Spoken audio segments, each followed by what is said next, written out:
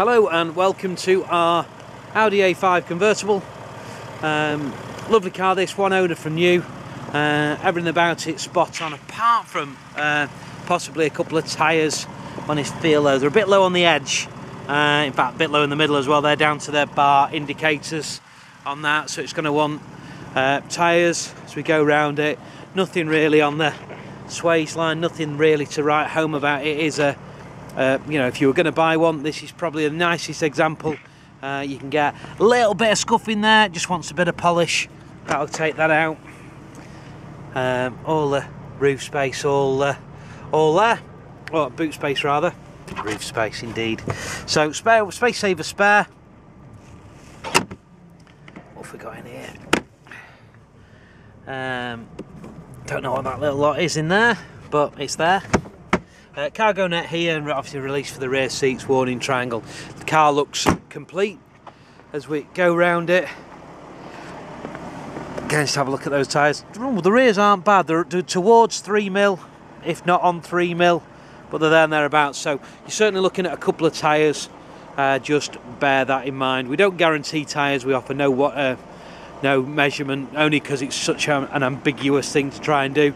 So it's got the obviously wheel upgrade. It's a really nice specification uh, with it being the uh, the S-line there as you can see. Black roof black leather. As we come round it. Let's check these wheels are the same.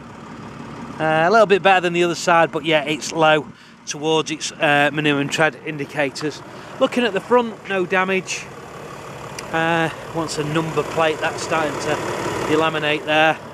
But there's no not really any stone chips. There will be the odd one. I think I found one there. And oh, that's better tar. Uh, but no a very nice example uh, of the car. Windscreen tax till February. Windscreen all looks in good order. No chips or scratches. As we come to the service history it has done uh, 23,800 miles as you can see there. Last service at 16,005 uh, by Audi so it'll be due a, a service. Um, I'm not sure how often these are probably at uh, 30 odd thousand miles. So uh, a while till it's due a service. Leather all in good condition. Full spec car heated seats media. Rear seats look fairly new. Um, no, no dents scratches um, to speak of. Full box. Oh in the glove box we've got CD auto changer and iPod connectivity. I don't know if that's an extra, but this has got it. I think it probably is. Everyone seems to charge for it. Looking at it, I'm not sure. I think that's keyless go. But uh, please check the spec. Let me just turn the volume off on here. There we go, that's better. We can hear what we're doing. So mileage, as you can see there, 23,832. So, media we have. So, full sat nav, uh, radio. I think we've got DAB digital radio. Uh, yep, DAB digital radio in there, as you can see. Heated seats, the media interface, you can put your memory cards in there. Um, obviously, multi-drop electric windows. Uh, so really nice car, multifunctional steering wheel as we can see there, auto lights. Forgive me if some of the specification is standard, but I don't want to miss it. Uh, memory package for the seats uh, there, so uh, heated mirrors as well. So all looks good, all looks in good order.